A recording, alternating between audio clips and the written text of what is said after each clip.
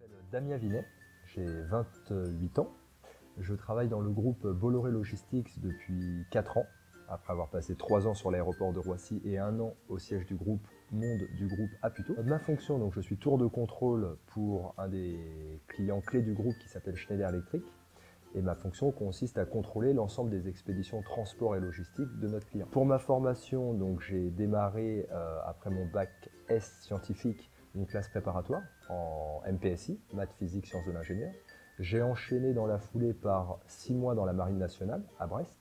Et ensuite, j'ai repris mes études en DUT logistique et transport à l'IUT de Cergy-Pontoise, où là, j'ai réalisé un stage chez UPS et une année en alternance dans le groupe Géodisque Alberson. J'ai enchaîné à l'issue de l'IUT par l'ISTELI, l'Institut supérieur du transport et de la logistique internationale, pour enfin finir ma dernière année d'études en master à l'École supérieure des transports de Paris. Quand j'étais plus jeune, je voulais devenir contrôleur aérien. Habitant à Argenteuil, j'avais très souvent les couloirs aériens qui passaient au-dessus de la maison, donc j'ai très tôt eu l'envie de travailler dans ce domaine d'activité.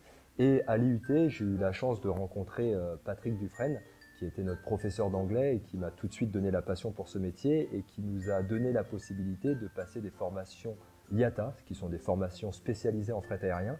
Et donc tout de suite, je suis rentré très rapidement dans ce domaine d'activité-là pour ensuite y faire carrière et maintenant y travailler depuis 5 euh, ans. L'IUT ne m'apporte plus rien par rapport à ce que je fais ici. Par contre, il est la première marche qui m'a permis de démarrer non seulement ma carrière dans le fret aérien, mais également de découvrir le domaine du transport et de la logistique et d'avoir cette spécialité en fret aérien. Donc aujourd'hui, je leur dois tout ce que j'ai appris entre 2010 et 2012, mais c'est vrai que je n'ai plus de contact avec l'IUT pour l'instant. Ça peut peut-être changer d'ici les années à venir, mais en tout cas, c'était vraiment la première marche qui m'a permis de, lancer la carrière. Comment l'IUT m'a permis de passer cette marche supplémentaire?